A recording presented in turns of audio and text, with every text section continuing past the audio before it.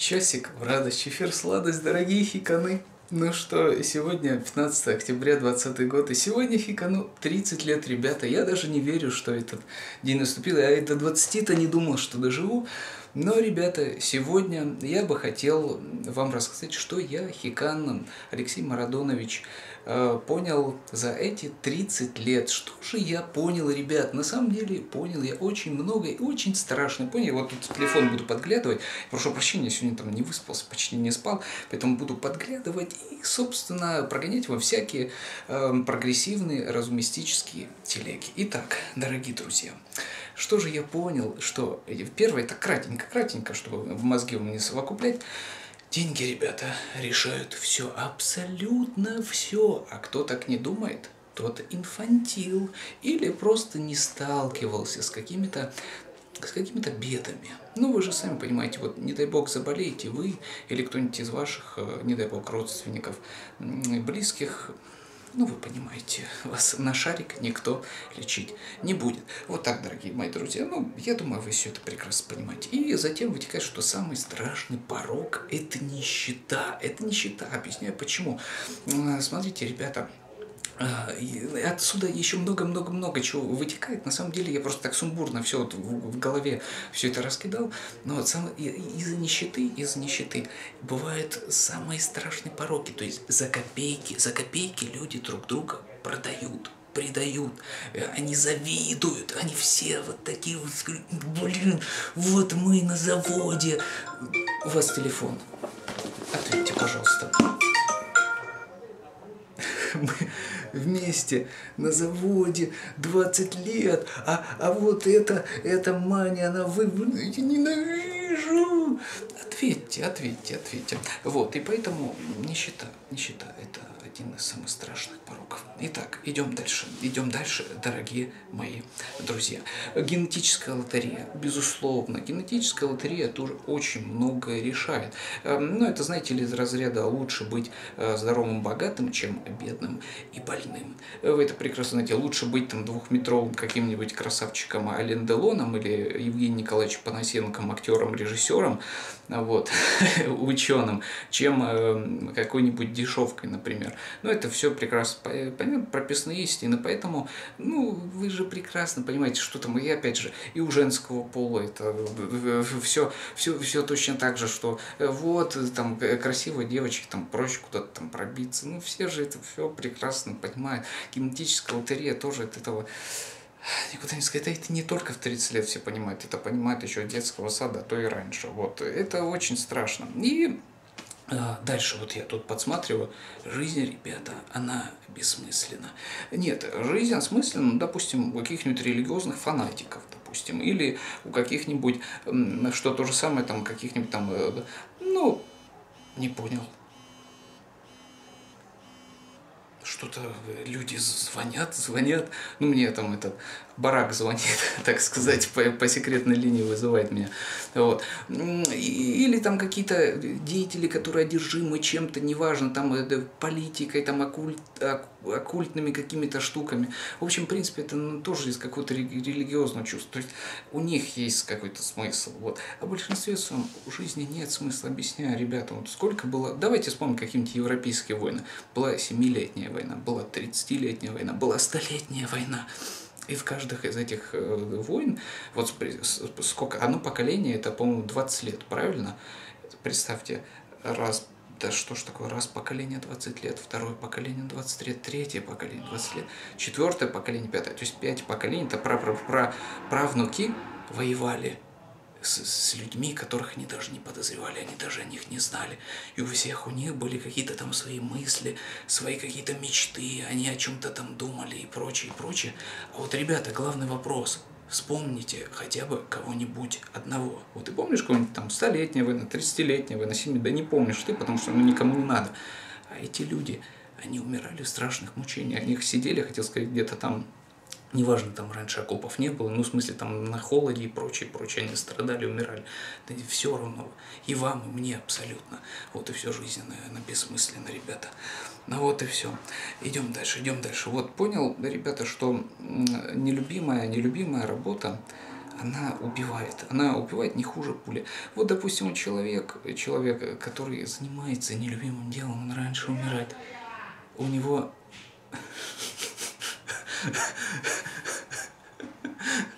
у него постоянный стресс. Вот ну, я же вспоминаю тогда эти свои, э, свое время работы в банке. Ну, ну, ребята, это же была каторга, такое ощущение, как будто я в тюрьме сидел. Ну, в самом-то деле. Вот я сейчас занимаюсь э, любимым делом, и не сказать, что я там счастлив, но просто я, я менее несчастлив, чем, ну, когда я там работаю. А те, кто всю жизнь, всю жизнь посвящает работе, которые ненавидят, это же, это же, это, это же просто смертный грех, ребята. Желаю вам найти себя и, что называется, своим делом заниматься. Вот, э, счастливый человек это э, кто, кто ну, свою работу превращает в, кто там сказал, высокооплачиваемое хобби или просто в какое-нибудь оплачиваемое хобби. Ну вот, кто-то звонит постоянно, не знаю. Так вот, а по поводу здоровья, ребята, по поводу здоровья, ребята, что бы вы ни делали, берегите здоровье. Я вас прошу, я вас... Вот тут это самое главное, ребята. Вот если меня там смотрит молодежь, знаете, спрашивают, Хикана, вот что бы ты сказал себе там десятилетнему? А я бы сказал себе, дружище, никогда, никогда не пей, никогда не выпивай. Ну, в смысле, алкоголь, наркотики никогда не употреблял, даже траву не курил. Вот. И э, те, кто смотрит меня помладше, ребята, никогда не пейте, ничего не употребляйте, потому что это, это убивает организм намного быстрее, оно того не стоит. Оно того правда не стоит. Я вам это авторитетно заявляю с высоты. И потом дальше просто будет не жизнь, а мучение, честное слово. А организм это человеческий, но, но это, это он, он умирает настолько быстро. Вы даже не представляете, как он быстро умирает. Да. Так, hello, hello, э, с днем рождения, Спасибо. 30 лет, это еще, еще плюс 36, и будешь как Владимир Путин. Ну, вот, ребята, присоединяюсь к поздравлениям. Вот, идем, идем дальше, идем дальше. Не, неожиданно, если честно. Вот, да-да-да-да-да. Вот, дальше я тут написал, что ты никому не нужен, и ты один. Запомни, дружище, ты один, ты один приходишь в этот мир. Знаете, как там жизнь, это затяжной прыжок из влагалища матери в могилу. К сожалению, это так. То есть, если там, как, как, как это будет сложная ситуация, тебе откажется и там и жена какая-нибудь твоя, и подруга, и кто, если меня женщина смотрит, там, и твой мужик, и кто угодно. Ты один в этом мире, вот. Ты никому не нужен, кроме, может, матери своей. Вот. И то, ну, не всякое. Вот, я не знаю, мой, мой пример не самый лучший, понимаете, ребята. Ты, к сожалению, никому не нужен. Рождаемся мы одни, и уходим мы из этого, как там, в жизни или смерти человек всегда один. Это очень грустно, ребята, на самом деле. Вот, но мне смотрит просто такой контингент людей, которых я надеюсь, что одиночество не пугает. Наоборот, а, есть такая штука, если ты теряешь одиночество, теряешь свободу. Вот как сказал однажды Джейсон Стэтхэм. Идем дальше. Идем дальше. Что еще написал? Да, вот что я написал. Любви нет. Любви нет. И вот да, как я тут дальше написал, как говорил Юра Марадона. Юра Марадона это мой батя, который был футболист. Он был футболистом, да. Но потом пошел в армию и спился. Да. Вот. Что любовь приходит, как он говорил, любовь приходит и уходит, а кушать хочется всегда. Мама, привет, если смотришь, я, я помню, да, вот моя мать любила цитировать Юрию Марадон, моего батю. Это правда так, ребята, это все, это все, ну ты, ты думаешь, что все, она одна, она одна, никогда ты не встретишь такую... А потом вот гормоналочка уходит, уходит, уходит, ты забываешь, тебе, перест... Э, ты, тебе больше не снится твоя женщина, и все. В голове просто стираются, стираются, стираются все эти хотя забыл слово сказать, но не, не, забыл, как называется. Неважно, неважно. Все, короче, в голове стирается, стирается, стирается, заменяется на новую информацию. Вот и все, ребята. Это очень грустно.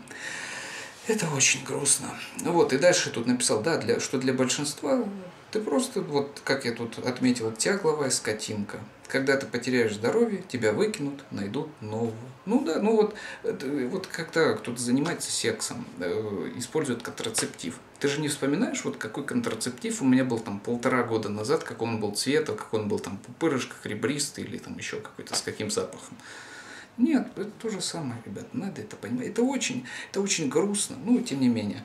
Ну вот я написал, даже если ты проживешь человеком 10 лет, о тебе забудут, а ты будешь всю жизнь один рефлексировать. На самом деле очень часто так бывает, что вот там какая-нибудь там подруга прожила с кем-то там, ну, неважно, несколько лет или там десяток лет, потом переходит быстренько к другому, и о тебе забывают. А у меня вот кореш, он до сих пор один. Вот, там, он постоянно там мучается, вспоминает, что так и так, все дела. Ну ничего, это, это проходит, ребята, это проходит. Все проходит, и это пройдет, как сказал, опять же, Джейсон Стэтхэм с кольцом. Кольцо у него было такое вот дальше тоже хорошая вещь. Жизнь летит очень быстро, очень быстро. Ребята, ну вот когда мне было 13 или там 14, вот, э, я со своими корешами, мы дни считали до э, там, зимних каникул, до осенних каникул, и вспоминали, и думали, что вот-вот, ну на каникулах ты мать. И это и неделя, она длилась так долго, и я думал, что вот, уже пятница, и мы... И мы вот то, что я сейчас скажу, естественно, осуждаем. Ждали пятницу, ходили пить пиво, там все дела. Ну, когда вот она пятница, все это длилось так долго, так долго, ребята. Ты ждал эту пятницу. А потом, после 20 лет, дни, они бегут, бегут, бегут, бегут, бегут, бегут, быстрее, быстрее, быстрее, быстрее. И я сейчас, и вот вчера был Новый год, вчера мне было 12 лет, потом 15, потом 18, а дальше я уже, я уже ничего не помню. А после этого ничего не было, после 20. Я ничего не помню, это настолько все быстро было. Даже не представляете, ребята. И, знаете, многие живут так, как будто они собираются прожить как минимум тысячу лет – ребята, если вы вот в своем возрасте не успеете там чем-то насладиться, не знаю точно, это не наркотики, там, не дай бог, там, не алкашка, а просто какие-то там эмоции, прочувствовать. Дальше это уже будет настолько все притупленно, дальше оно вам ничего, ну, не надо будет, поймите, запомните тоже одно из главных, что чем старше становишься, тем уже на все становится пофиг индифферентно становится тебе абсолютно, э, ну, ну все равно становится, что там происходит. Э, ну, ничего тебя уже не радует, не ранит. Чем дальше ты, ты, ты, ты больше внутри э, становишься вот мертвечиной этой, к сожалению, все внутри отмирает. Это очень печально. Вот, так что успей жить, успей, спеши, спеши, спеши. Так, вот, э, тут я тоже правильно отметил, что никому никогда доверять нельзя. Тебя продадут и придут за копейки. Это уже сказал, это все идет, э, вот это разветвление от нищеты в основном. То есть, и опять же, тоже дальше там отметил, что дружба не существует. Но дружба существует, безусловно, но э, какие должны быть условия? Что вы должны быть равны, то есть у вас не должно быть мезальянса. То есть кто-то там, э, условно говоря, сверх какой-нибудь э, э стопарик друг ты Людмурик, и чтобы у вас не было там какой-то зависти, какой-то вражды, каких-то склок э, и, и, и прочего. Вот если вы оба стопарики, если у вас равное положение, тогда безусловно, а если нет, то тебе продадут просто за, за мелочь, за, ну, за, за какие-то копейки, ты даже не поймешь, зачем, зачем человек это сделал. Это ну вот просто на каждом шагу сплошь и рядом. Это ужасно, ребята. Ну вот, поэтому не доверяйте никому, вас предадут и продадут. Просто запомните, можете даже, хотел сказать, татуировку, но не, не надо татуировку делать. Так, вот, да. Вот я написал, человек это всего лишь прямоходящая млекопитающая обезьяна разной степени агрессивности. Мы отличаемся всего лишь второй сигнальной системой и умением говорить, а тут нечего и добавить. Это, это так, просто некоторые воспринимают человека как какой-то там венец, творение и прочее. Это все на самом деле фигня. Мы такие же обезьяны. Мы всего лишь, ребята, обезьяны, и вы должны это помнить. Ну вот, и то, что ну, вот, жизнь это каменные джунгли, выживает сильнейший, сильно жрется слабого. Если ты будешь слабым, тебя просто сожрут. Все это прекрасно понимают. Это прописная истина, которой можно было даже не говорить. Вот, дальше написал, твоя жизнь ничего не стоит. Ну, так оно и есть. Там, собьет тебе, не дай бог, какой-нибудь там власть имущий. Ну, ну ты что, еще наоборот, э, тебя заочно осудят, то, что ты помял э, господину там вот этот бампер, капот, и твоя мамка будет выплачивать компенсацию. Ну, с такой же сплошь и рядом вы это все без меня прекрасно знаете. Вот я написал еще правильную вещь. Большинство людей относятся друг к другу потребительски. Э, как у Англии, э, у них друзей нет, есть только интересы. Ну, на самом деле, так есть у всех. Там э, любая там просьба, любые какие-то движения исключительно там, либо там какие-то мутуалистические отношения взаимовыгодные, либо В общем, это крайне заинтересованность. Все, не-не-не, крайне заинтересованность. Все, да, влаживаем, влаживаемся, вкладываемся. Так. И вот тоже очень важная вещь, ребятам, что большинство людей никогда не взрослеет психически. То есть ты можешь стареть телом, но внутри ты всегда остаешься тем же мальчиком или девочкой, то есть э, ты взрослеешь только телом, стареешь, умираешь, а внутри большинство это всего лишь дети, и это все тоже прекрасно понимаете. То есть э, люди, неважно, какие они там посты заняты и прочее, там сидят дети, всего лишь дети, самое, самое страшное, со своими комплексами, мой любимый, э, мой любимый, наверное, эпизод, это когда девочка, знакомая, но она уже не девочка, а, заняла должность HR, а к ней приходит другая подруга и ну, на работу устраиваться. Но вот они вместе в одной школе учились, и вот эта девочка, которая приходила устраиваться, она в свое время ну, не увела, ну, короче, Ваня Ерохин на эту девочку, которая пришла устраиваться, повелся, а вот ту, которая HR работает, он нахер послал. Вот. И та подруга, которая HR, не приняла эту на работу, ну, понимаете, потому что в школе там мальчик, там все дела на нее не смотрел. То есть представьте, сколько сколько лет прошло, может, этого мальчика нет уже, может, он спился или где-нибудь в канаве от туберкулеза помер. Ты серьезно? Да, серьезно. Ну, это, это страшно. Комплексы и детские страхи, к сожалению, они правят, правят этим миром. Вот. И еще буду уже заканчивать. Естественно, тут дальше можно дополнить, э, дополнить. Компьютерные игры – это основной таймкиллер. Но, ребята, но а, для определенных людей это спасение – компьютерные игры. Кто бы там что ни говорил, то что они там а, провоцируют, какие-то там что-то не провоцируют. Как, какая провокация? Ты сидишь дома, играешь, ты никому ничего плохого не делаешь. Вот. Я же говорю, если был мелким, у меня был компьютер, я, может быть, и не пил бы никогда. Вот такие дела. Может быть, вырос э, нормальным человеком. Ладно, не будем об этом. Поэтому я ничего не вижу плохого в компьютерных играх. Я иногда даже порой вижу в них спасение. Так, а, и вот тоже я правильно вещь написал. Ну, опять же, может быть для кого-то даже крамольную, что для некоторых людей армия может быть полезна. Для, только для некоторых людей. Потому что есть такие люди, которые, знаете, болтаются в строю, как клизма в заднице, и ну, не могут найти себя в жизни. Человек пошел в армию, а там думать не надо, там э, за тебя командир думает или лошадь у нее башка большая.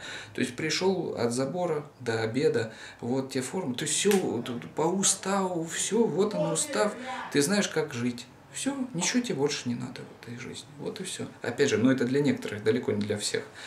Вот тут я правильно написал. А, секс переоценен, ребята. Он безумно переоценен, и чем старше ты становишься, тем больше ты это понимаешь.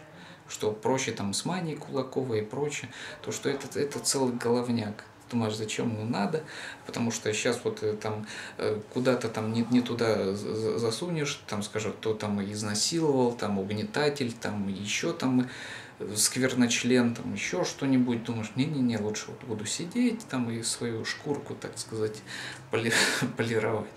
Ну вот. И финально, что скажу, ребята, в нашем таком, знаете, вот, меланхоличном, ой, меланхоличном нашем сегодня, меланхолическом таком пассаже, что главное, что вы должны запомнить, это после того, как вы поели гречу, тарелку надо сразу ставить в ванну, или, ой, в ванну, в раковину, залить водой или сразу мыть, ребята.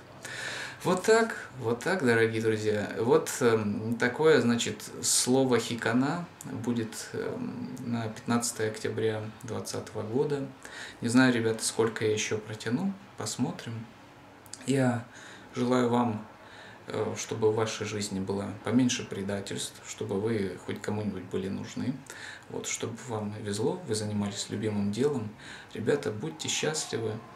Я вас обнял и желаю вам всяческого благополучия, здоровья, добра и позитива. Берегите себя, подписывайтесь на Камухи канал, донатьте нас бабулины вич-пакеты, заказывайте рекламу и сигны, не забывайте про колокольчик, темки-темки, лавки-лавки, покусики, и хранить нас всех Господь наш Сварог. Чао, пока.